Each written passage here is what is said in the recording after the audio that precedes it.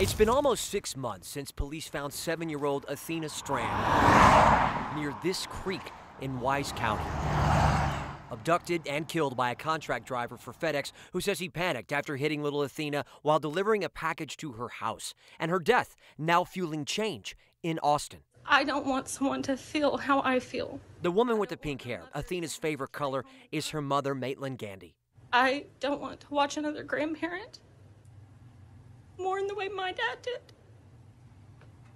So please support this bill. She became emotional while testifying in front of the House Committee on Homeland Security and Public Safety this week, championing a bill that would make it easier for police to issue alerts regarding missing children. When Athena was abducted, law enforcement waited a full day to issue an Amber Alert, which goes out statewide. It could have made a difference in my child's life.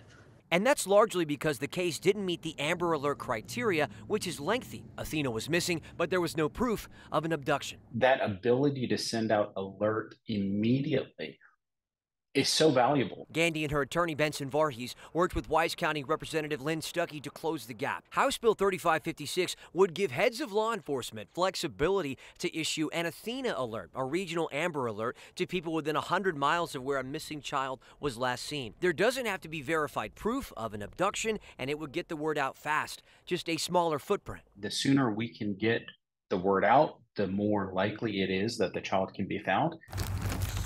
The House floor the next stop. In Dallas, I'm Matt Howerton.